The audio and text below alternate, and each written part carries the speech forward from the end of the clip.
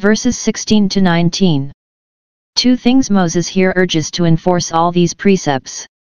That they were the commands of God, v 16. They were not the dictates of his own wisdom, nor were they enacted by any authority of his own, but infinite wisdom framed them, and the power of the King of kings made them binding to them, the Lord thy God commands thee, therefore thou art bound in duty and gratitude to obey him, and it is at thy peril if thou disobey.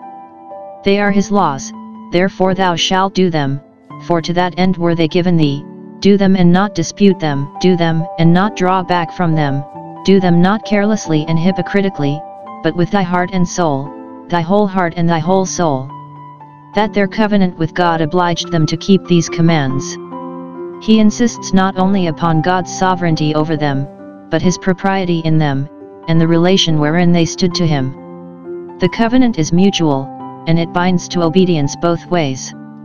That we may perform our part of the covenant, and answer the intentions of that, v 17 Thou hast avouched and solemnly owned and confessed the Lord Jehovah to be thy God, thy prince and ruler.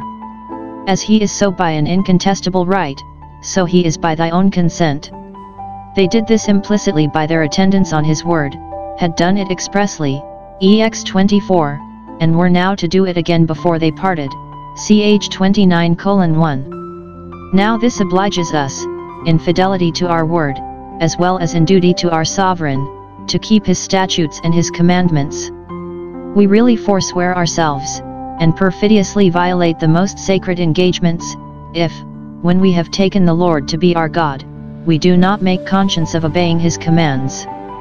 That God's part of the covenant also may be made good, and the intentions of that answered, v 18, 19 The Lord has avouched, not only taken, but publicly owned thee to be his segullah, his peculiar people, as he has promised thee, that is, according to the true intent and meaning of the promise.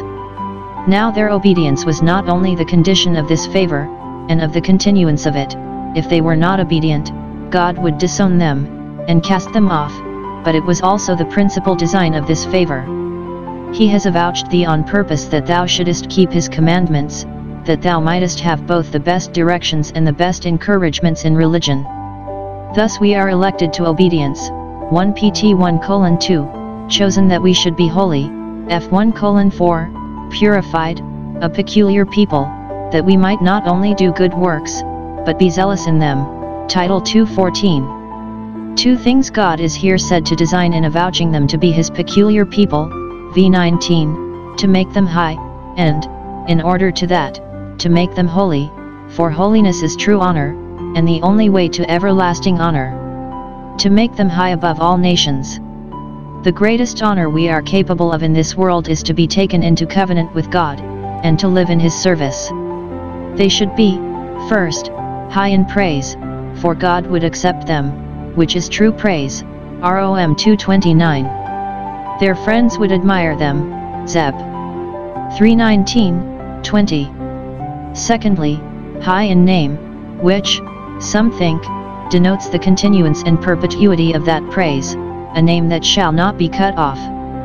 Thirdly, high in honor, that is, in all the advantages of wealth and power, which would make them great above their neighbors. Sija 13:11. That they might be a holy people, separated for God, devoted to Him, and employed continually in His service. This God aimed at in taking them to be His people, so that, if they did not keep His commandments, they received all this grace in vain.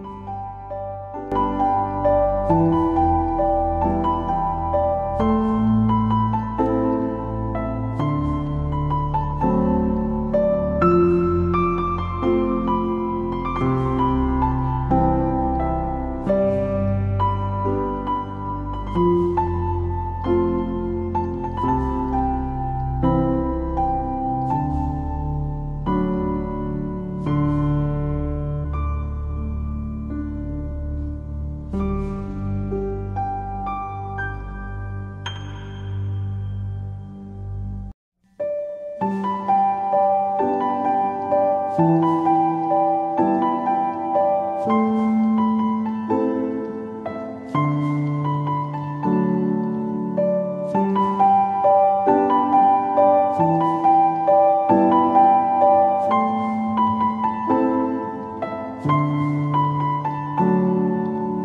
-hmm. you